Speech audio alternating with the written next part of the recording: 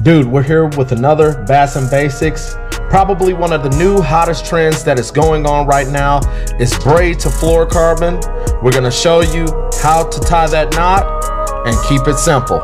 All these other guys use all of these crazy knots that I can't even pronounce.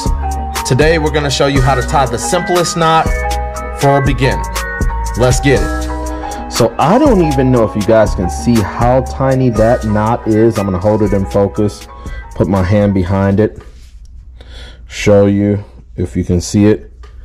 But all of these knots out here, the FG knot, all of those knots are so cumbersome. This knot is one that I almost want to say that I taught myself how to tie this knot. I believe I saw this knot on Orlando Wilson or Bill Dance a long time ago as a kid and I've been using this knot since. Uh, but I will say this: this knot, I don't even hear it come through my guides. It's got to be the best knot for fluorocarbon to braid leader knots. So I'm to show you how to tie it real quick. So here's what I do. Okay, you got your braid, and you're always want to fold over your mono or your fluorocarbon leader first. So I'm going to leave the braid up here. Let's not worry about the braid right now. We're going to fold this over to where we got a double deal, if you can see that. So now that we got that, all right, this is simple. We're going to take the line and we're going to lay it just like that in between my fingers while pinching both sides. Now with lighter line, I do probably, I want to say 12 to 15 wraps. So I've got these two lines pinched. You see that? And there's still a loop there. All right. I start my wrapping. One, two, three, eight, 12, 13. And I'm going to stop at 13. And I'm going to take that tag in of that braid and go through that, that loop that we pinched, okay? Now, what I'm going to do is I'm going to add, see how it's starting to tighten down? Now I'm going to add lubrication.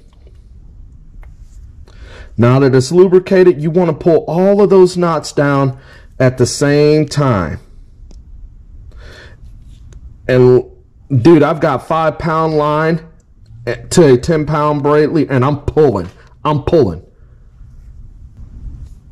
Now you can see how perfectly formed this knot but is. Just like you would the FG knot, I do a couple of secure wraps right here. Uh, like a loop knot, couple loop knots just to prevent slippage on the braid end of it.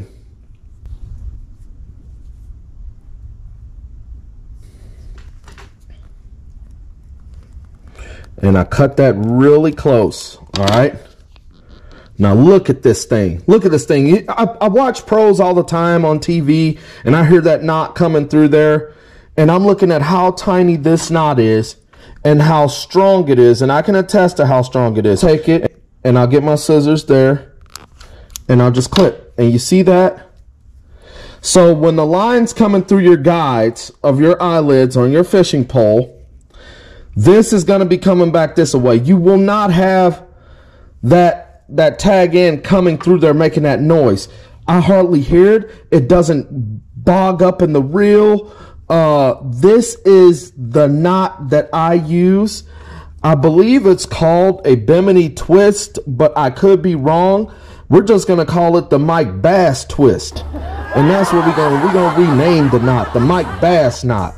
So Try it. Let me know how this works for you. This is the knot you want for braid to fluorocarbon. Trust me.